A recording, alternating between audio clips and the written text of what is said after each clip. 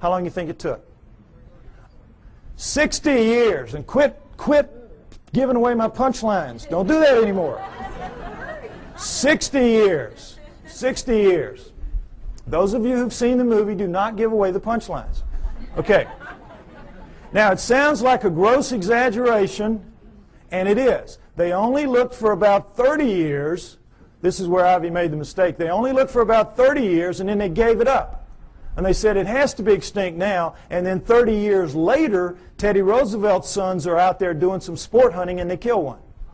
Okay? So then they mounted up again, knowing that they, it's for real now.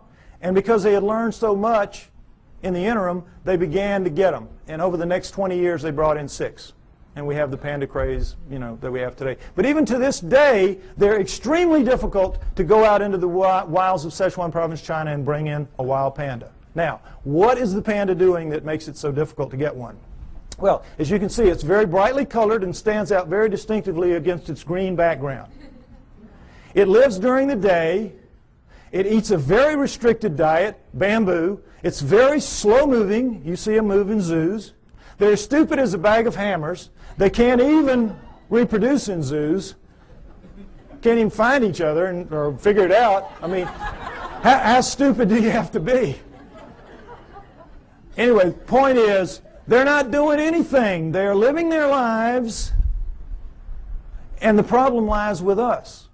We can't hack it in their world very easily. We think we're masters again of the world. We're not. We're not. And where they live is where the hominoids live. And the hominoids are bigger, faster, stronger, operate at night, eat anything in their world. They can hear better, see better, and I'm absolutely sure think better than we can. We're not going to just mount up and go get one because we've tried it many times and it hasn't worked. We're only going to see them by accident, encounter them by accident. And that's when it happens, and it happens a lot. We have good evidence on record of these encounters. Next slide. We're going to go over a few. The famous Patterson film, Roger Patterson took a film of a female hominoid walking along a creek, creek, bank in 1967, October. You all saw this, well, not all, but some of you saw this recently on a television program called World's Greatest Hoaxes. All right? That itself was a hoax. That program was a hoax. I, I, wrote a long email about this, and it's on my site if you'd like to read it, www.lloydpye.com. It's a defense of the Patterson film showing what they did not talk about in that program, trying to make this film look like a hoax and pick on it, as people will do occasionally. There's no doubt that this is a bona fide film for a number of reasons we're going to go over. All right. First of all, it was a bright sunny day, as you can see. What happened was the sun was shining such that it was glinting off of her shoulder and thigh as she walked, and you could see her muscles rippling in her shoulder, in her thigh as she walks. In good slow-mo close-up, you can see that, which they did not provide in that, uh, in that program. All right, if that's a person in a suit, the suit has to be glued to naked skin. In the gluing process, you lose that flexibility, that ripple. The only thing that looks like this does in this film is real skin under, I mean, real skin over real muscle working. So we could stop right here, it's real just based on that right there. But we don't have to stop. The arm, if you've all seen her walk, she walks along like this. She drags her arm down around her knees where everybody says, you know, the hominoids do. Why? The elbow articulates right here, which is much longer from shoulder to elbow than a human. If that's a human in a suit, impossible. You can't get an elbow bend at the same point. So we could stop right there. Solid proof that that's not a human being in a suit. But furthermore, Jerry Romney, the guy they said was in the suit, they stuck him with breasts. What would they do that for? Why go to the problem? Why go to the trouble? As she walks along and she turns back to face him, you see the breasts sway, and she takes a couple of steps, and you see that nice jiggle that we all know. If it's a person in a suit in 1967, it's going to be those early silicone jobs. Remember those? Absolutely real right there. Furthermore, she left tracks in the hard packed sand of the creek bed. One inch deep, we have pictures, we have casts. That cast you saw earlier of the cast in the foot, that was her foot. No question, inch deep, walked a 200 pound man beside her not long after. He sank about a quarter of an inch. So we know that as she stood there doing this, she weighed 600 to 800 pounds. Fake that. That's got to be a real lead line suit. 600 to 800 pounds as she walks. So we know that it was a legitimate film. Furthermore, as they pointed out in the program, with the fake films, they can never tell you where it happened and who did it, who took it, because they don't want that guy to be grilled and they don't want experts to go and measure one limb here and know how long, how tall it really was. What Patterson did was he went right out fast as he could and begged every expert in the area that he could call, every anthropologist and zoo person, come out, bona fide sighting, please bring dogs. And you don't want to bring dogs because these things have a very powerful body odor that even, even tracking dogs will recoil from.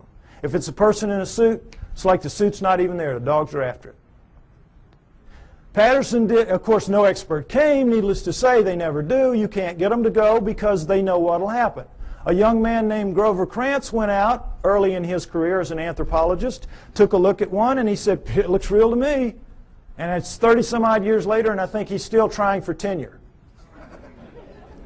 They've made a tremendous example out of Grover Krantz for what happens to people who side with the enemy in this issue, which is a very volatile, very sensitive issue. Okay? So no experts would come, needless to say. Patterson did everything right that he could except film something that could be real. Other than that, he was great. Okay, next slide. Man named Albert Ostman, picture taken in 1957, talking about an event that occurred to him 33 years earlier in 1924 when he was a young man, a timber cruiser in the woods of southern British Columbia.